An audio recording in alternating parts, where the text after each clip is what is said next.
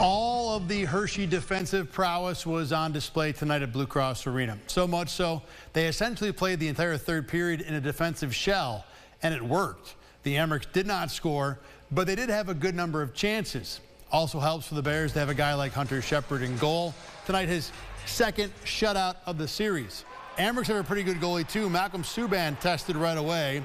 This one was scoreless to the second. How about Brett Murray, a point-blank chance, but Shepard equal to the task. Here's the goal. The only mistake Subban made, Shane Gersich makes him pay. The five-on-three opportunity, that came two minutes later. But first, how about Mason Jobst?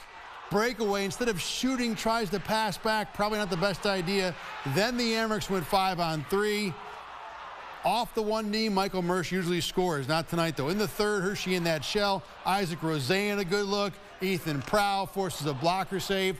Best chance of the period. Amerks shorthanded. A minute change to go. Sean Malone walks in front, but backhand into Shepard's chest. A moment later, it was celebration and handshakes. Carl Jones was at Blue Cross Arena all night, and he can put Rochester's season to bed.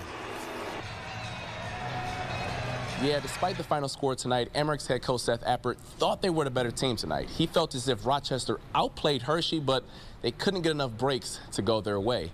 He added that this loss stings, but not because they won't get the chance to win the Calder Cup, but because he won't be able to coach this group ever again. This group, it took time for us to become who we became.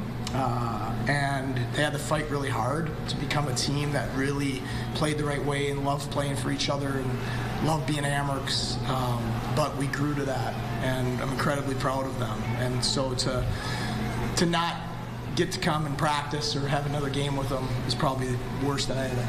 You know, last year I think it had been 20 years since we won a playoff series, and now we've won four in two years and getting within two games of being in the Calder Cup Finals, and there's going to be a North Division banner uh, in this rink for the first time in two decades. And it's not the banner we wanted, uh, but it's still a banner we're, going to be damn proud of.